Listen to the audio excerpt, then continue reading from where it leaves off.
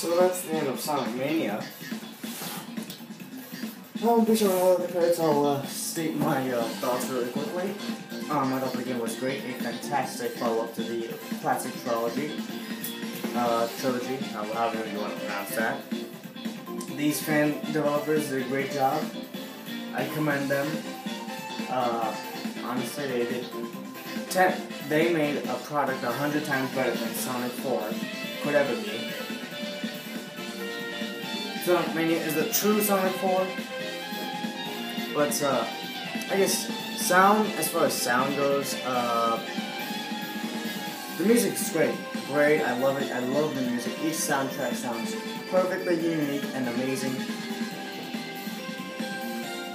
I love it. Uh, my favorite would have to be Studio Op. Not Studio Opera. Can't think of a favorite now. I think maybe, uh, Hydrocity Zone 2 and Studiopolis Zone Act 2. Uh, okay, so, um, uh, stages, as far as stages go, I love every every stage in the game. Uh, they were all, they were mostly uh, returning stages, which I'm fine with that. I mean, it's a little bit disappointing, but it's still fine. It works perfectly fine. Uh, they they changed it up uh, at least enough to make it unique. Um, and then uh, the new stages they run, they were fantastic.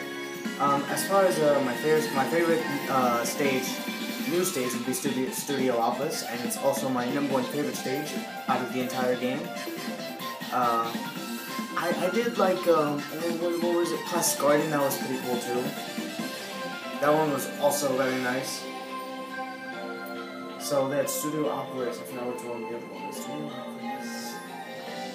Mirage Saloon. That was really good. But so, uh, Studiopolis was my favorite though out of all of them. Mirage Saloon, uh, is music, it sounded beautiful.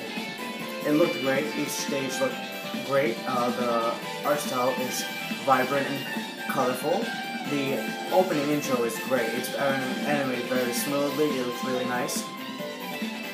And the music, uh, Hyper Potions, they did, they did a really good job. They also did the, uh, uh, pre-order trailer music, so they also did that, which was also a very nice soundtrack. So, yeah, Hyper Potion, you want to go check their channel out. Taylor too, he has a channel. He he's the he did the music for this game. He is a god. I I love his soundtrack. It's so good. So yeah, I heard the PC version of this is pretty bad though. So just kind of be on the lookout. I already used Den Denuvo. Uh, I believe it only allows you to play the game when you're at the internet, which kind of sucks.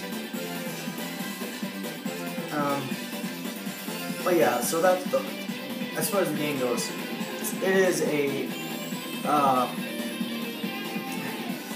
9 out of 10.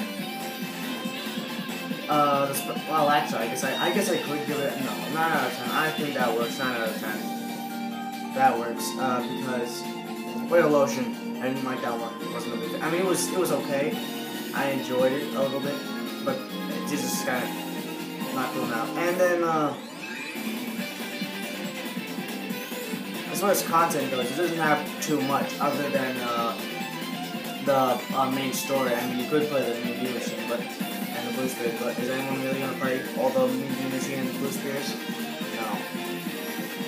But yeah, it's it's still good though. It's still a perfect game. Don't get me wrong. So that's those are my thoughts. Peace. Bye.